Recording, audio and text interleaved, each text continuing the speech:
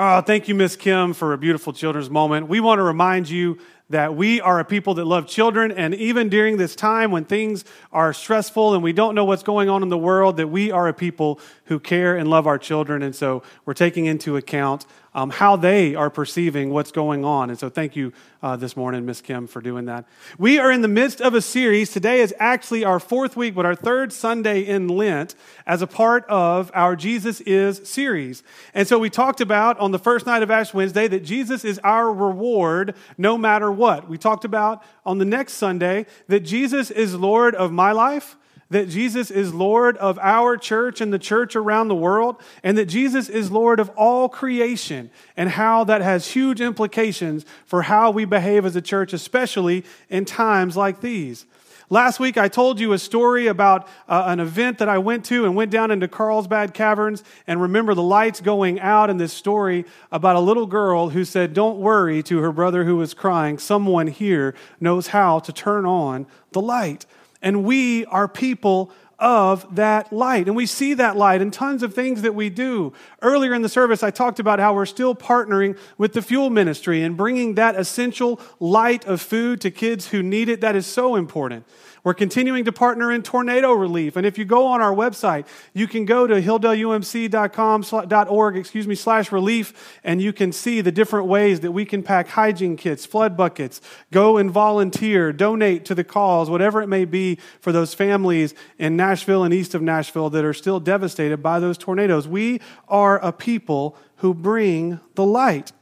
And it is needed. I, I, don't know about you, but it feels like we don't want to watch the news anymore because there is just so much bad news that is going on. And, and we look on the news and we see, see, uh, we see sto- uh, cities, excuse me, like Seattle, and, and they look like a Chick fil A parking lot on a Sunday, right? There's just nobody there.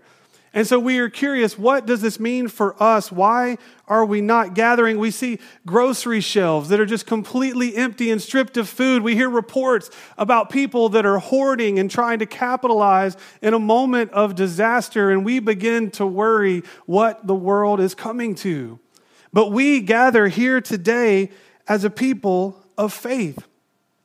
But we ask this very important question in the midst of all that is going on how can it be best to be apart? And as I was preparing for this Sunday, we, we had a scripture in mind that we had planned for a long time before. But as I prayed and thought about it, I, I had this, this new scripture that I felt like God had laid on my heart and that we were going to walk through together. But when I, when I began reading it for the first time, it genuinely didn't make any sense to me. And so I was reading through the scripture in John chapter 2, and if you wanted to flip along, you're welcome to with me. Um, but John chapter 2, and it's the wedding at Cana. What on earth does a wedding at Cana and the miracle of turning water into wine have to do with who we are as a church in this place right now? Now, these scriptures that we're going to look at together today as I began to study and understand some of the deeper aspects of it, really came to life and began to frame some of what we're going through and how we continue to find hope even in times like these and even when we can't be together each and every day. Now, as I looked at this story the first time, I began to think that this idea of turning water into wine and Jesus and his disciples going to a wedding, that this was honestly if we can be honest with each other, it was a little bit of a mundane story. I mean, it's miraculous. Jesus turns water into wine, which is usually only a scripture that we quote when we're about 18 or 19 year old and we're sassing our parents back about letting us have a drink, right? Well, Jesus turned water into wine, right? But it's something that has a miracle, but does it really have a lasting kingdom impact? Is it really something that it advances the gospel? Because if it's not, then why are we told this story? But I believe we are told this for many reasons, and they all begin to advance the story. You remember, this is Jesus' first miracle. His mother comes to him, and if I can summarize the scripture for you a little bit, they go to a wedding, Jesus and his disciples, and, and at the wedding, they begin to run out of wine. Now, maybe Jesus and his disciples showed up a little late and maybe they put a run on the wine. I really don't know. But for whatever reason, they ran out. And these are festivities that go on for days at a time, and continuing to be able to be festive and drink wine was extremely important to these people. It was an important part of what it means to gather together, to be a family, to be a people in a community, to get together in a common place, and to begin to just believe in love and to understand what it means to be united together in union with each other, in union with the covenant of God, this is an important event. And as we read through in John 2 in just a second, we're going to begin to see how this plays out for us today. So I'm going to share with you from John chapter 2, and I'm going to start with verse 1. On the third day, there was a wedding in Cana of Galilee now, there is some significance here. It happened on the third day. As we are moving in Lent towards some holiday out there in the future, a few weeks away, there's something important that happens on the third day. We're told that Jesus' mother was there and that Jesus and his disciples were also invited to the celebration. It turns out Jesus wasn't humdrum. He was invited to come to a party and to have a good time, and he's joining his mother and the rest of the community and his disciples in a wonderful event. Now, I'm imagining that you've probably been to a wedding before, and I love weddings as long as I have zero responsibility, right? So if you go to a wedding and you're responsible for the catering or the pictures or being the officiant or, or whatever it may be, weddings can be an extremely stressful time right? I remember talking to the priest, the pastor that was going down before me at my own wedding, and, and I said, You know, I'm a little nervous. What do you do when you're nervous? And he said, Well, I'm, when I'm nervous, I pray. And so he turned around and was facing the other way. And he said, He turned around, he said, Stephen, are you nervous? And I said, I'm praying, right? Because weddings can be something that isn't always such a joyous event. They are an amazing time, but sometimes they carry with it some responsibility. And I love going to a wedding where I don't have to be in charge, to be quite honest. Those are the best weddings of all. But here in this moment, Jesus' mother comes to him. The wedding is going on. I'm imagining for us, for the way that we remember weddings, they're at the reception, they're having a blast. And Jesus' mom comes over and she simply says, They don't have any wine. Verse 3 says, when the, when the wine ran out, Jesus' mother said to him, They don't have any wine. Now, I've told you before I speak Southern Lady. And she comes over and she doesn't make a request. She doesn't ask Jesus to get more wine, right? She must have been from Southern Israel, right? And so, but she comes over and she says, They don't have any wine, Jesus. And then how Jesus responds is pretty amazing. Jesus replied, Woman, what does that have to do with me? Right? Woman, what does that have to do with me? I don't know if you've ever spoken to your mother that way, but you'd only do it once, right? Woman, what does that have to do with me? So even Jesus is admitting in this moment, in the midst of this story, there's a question about why this is important. What does this have to do with him? What does this time of running out of something important to the people of this community have to do with Jesus. Perhaps we know a community that has run out of something important to them. Perhaps we've been to Publix and we've tried to buy toilet paper or water or canned goods. Perhaps you've seen the pictures on Facebook of entire shelves just wiped out. Communities are running out of the very things that are important and life giving and bring them together.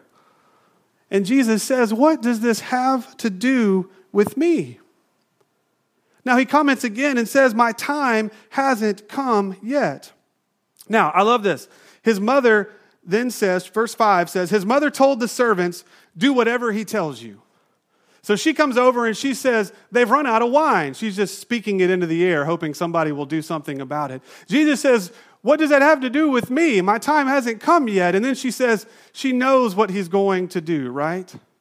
She knows he's a good son who sees the absence of something necessary. She knows he's a good son who listens to his mother. So, children, if you're at home with your parents this week, listen to your mother, please. For the love of everything good and holy, listen to your mother. And so he's listening to his mother, and she knows that he is going to do the right thing. that Jesus is going to do what is necessary for that moment. Do whatever he tells you.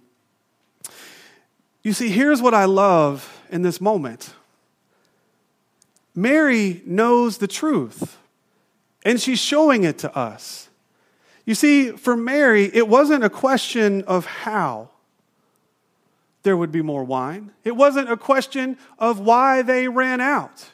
If you had been to a wedding with my family and somebody had run out of wine, there probably would have been a lot of talk about which family member's fault it was that we ran out of wine. But there was no question of how, there was no question of why, there was no question of when there would be more or where it was going to come from. The only question was who. And Mary knew who. As a matter of fact, it's the only question she had an answer for. She brought her problem. She brought her absence of something important for the community. She brought her concerns and her anxiety and her fear, and she took it to Jesus. And without even asking a direct question, she just says, They're out of wine. And Jesus responds, and she says to others, just do whatever he tells you. Just do whatever he tells you. Because I don't know how, and I don't know why, and I don't know when, and I don't know from where. But I do know who. And we bring our cares, concerns, anxieties, the things that are missing in our life to Jesus because we know who. As we look at verses 6 through 7, we begin to see something else going on. Nearby were six stone water jars used for the Jewish cleansing ritual, each able to hold about 20 or 30 gallons. Now, I love this imagery, right? There are six jars. What's a holy number? Anybody? Y'all can comment too. What's a holy number? Seven. Seven. So we have six jars and then we have Jesus. It adds up to something holy happening in their midst. Now, I'm throwing a picture. It won't be on our screens here, but it'll be on your screen of me when I got to go to Cana and we got to see one of those ritual jars. This was for cleansing, for washing clean. This thing would have been slapped full of Purell at the time, right? Perhaps we would go looking for jars full of Purell Perhaps we would stand over it and sing happy birthday twice while we washed our hands or our ABCs. Everywhere I go in my house, when I hear the kids in the bathroom, I hear A, B, C, D, E, F, G. And I'm like, oh, I'm just so glad they're smart and they know that. But they're standing in there scrubbing their hands, almost out of ritual. But you can see how huge these containers are. They're about the size of a barrel. They're a little bit smaller. They're 30 gallons roughly. They are huge containers, and he fills six of them, or actually, the servants fill six of them to the brim. Jesus said to the servants, Fill the jars with water. Now, now here's what I find interesting here. It says that the servants filled them to the brim with water. Now, what on earth is water going to help? Jesus, we're out of wine. Jesus, you're a little disconnected from what's going on. You don't seem to understand. Our people don't need water. They've already washed their hands. They're ritually clean. Everything's fine. We've got these jars. They're empty. It's no big deal. The one thing we don't need is more water. We've got that taken care of. What we need is wine.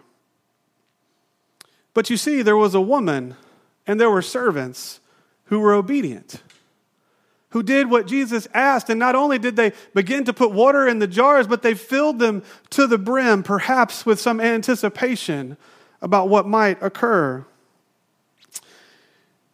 You see, this, I believe, was honestly an unhelpful answer.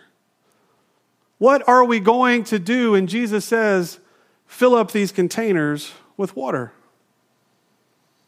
But you see, the problem is that water wasn't exactly what they needed. They needed something else. There was something else missing. They needed the wine. They needed something to bring their community together. They needed something that brought them joy and hope and love. They needed something that brought together the, the whole of the family and made memories that would last a lifetime. If you've gotten married anytime soon, you know there's DVDs and VHS tapes. They probably even have 4K Blu-rays now of your, of your weddings. And there were flowers and pictures. I always joke that we didn't have pictures around a wedding, we had a wedding around pictures. Because the memories last a lifetime. I love having those pictures.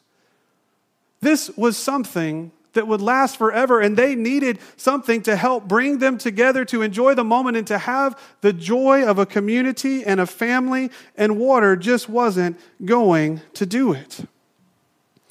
But you see, Jesus takes an empty situation, a distant situation, a situation full of hollowness, and he changes it.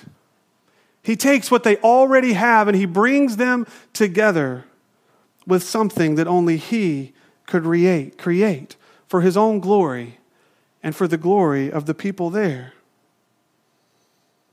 You see, in the story today, as I read this, what I felt like was I heard was to quit looking at what we've lost, to quit looking at the things that are absent and missing. And to put what we do have into the hands of Jesus Christ. To gather the things that we do have, the people in our life, and to trust that Jesus can do something miraculous with it, like changing water into wine. We turn it over to the one we know who. In verse 8, it says, Then he told them, Now draw some for them and take it to the head waiter. And so they did. They took the water to the head waiter. The head waiter tasted the water that had become wine. He didn't know where it came from, though the servants who had drawn the water, they knew. The head waiter called the groom and said, Everyone serves the good wine first. They bring out the second rate wine only when the guests are drinking freely. You kept the good wine until now. And isn't that true of people, of you and me? The things that we experience first and know of, the things that we look forward to, we believe them to be the best. But when Jesus steps in and we give him the parts of our situation that we can, Jesus turns them into an even better situation. And that is unbelievable in times like these. What do we have to give to Jesus. Jesus takes what they have and gives them way more. I mean, six jars that hold up to 30 gallons, that's 180 gallons. Yeah. Now, I got to go to this place in Cana, and I'm going to tell you, it's not a big town. If they had a hundred or a couple hundred people together, maybe out of the whole town, I think they would have been lucky. So, the last time you might have had a gallon of wine, you might understand the abundance that Jesus had blessed them with. He took what they had and he gave them so much more. He exceeded their expectations, not just in quantity, but in quality. They were supposed to save the worst wine for second, but instead, when they handed over what they had, he gave them something even better than they had anticipated. You see, Jesus saves us from what we can't provide. Jesus saves us from the, the lack of hope and the fear and the anxiety. Jesus saves us from the things that we can't give or do for ourselves. You see, we as people, we usually go about our business until something runs out. And then, like Mary, we run to Jesus and we say, They have no more. We have no more time. We have no more energy.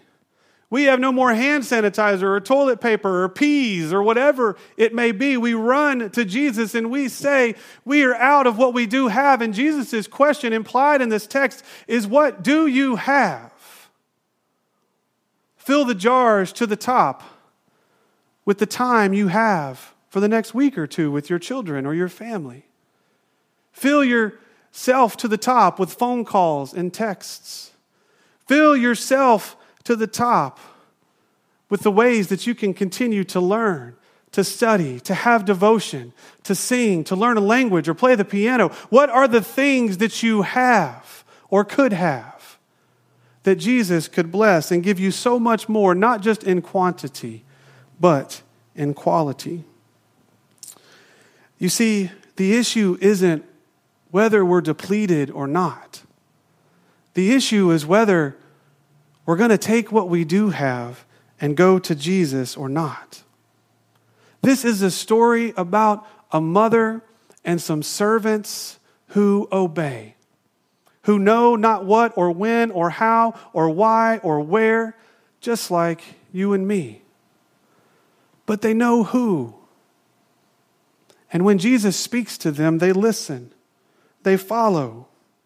And in this moment, this miraculous moment, this kind of confusing moment of not understanding how this even miracle is going to move the kingdom of God forward, this obeying brings glory to God. This obeying brings glory to the people who are involved. And everyone benefits. I want us to know as a church and around the world that we serve a God that is bigger than what we don't have. We serve a God bigger than the distance between us. We serve a God bigger than this building. Since 1954, this place has been the church in Clarksville, Tennessee. Not because of these walls, but because of you, because of the people who came before you the people who birthed you, the people who trained you, the people who loved you and cared for you. You have been the church, and we will continue to be the church, not because of where, and not because of when or how, but because of who. We are the church of Jesus Christ. In the midst of what we don't have, we are a people who still have a lot. And my question to us as a church today is are we going to bring that to Jesus? Are we going to examine the time that we've been given with family at home? Are we going to examine the resources that we do have and say, this is something, even though I can't see it or understand it, that God can use for God's glory alone? And for my benefit. And that when I bring it to Jesus, to the who that I do know, He can do so much more with it than I ever thought. We are a people of God greater than our distance. We are a people that look to the who. We are a people that can overlook distance and time and separation and fear and anxiety. To find the one who gave us everything that is good, to find the one that whispers to us in the midst of the storm, to find the one who fills us with hope, even in the midst of times like this. You see, Jesus is filled with hope. And so can you and I. It may just seem like everyday water, but our God can do a miracle with what we already have. As long as we stop looking at what's missing and we start looking at what God has already given us. Let us pray. Lord, we come to you today as a people that have been focused on what's missing, as a people that have lived in fear and doubt and anxiety, as a people who are worried about the future. But you are the God of the wedding feast a God who brings us together no matter what, a God who will take the everyday things that seem so mundane and use them for an impact so huge, so miraculous, that we never could have seen it before.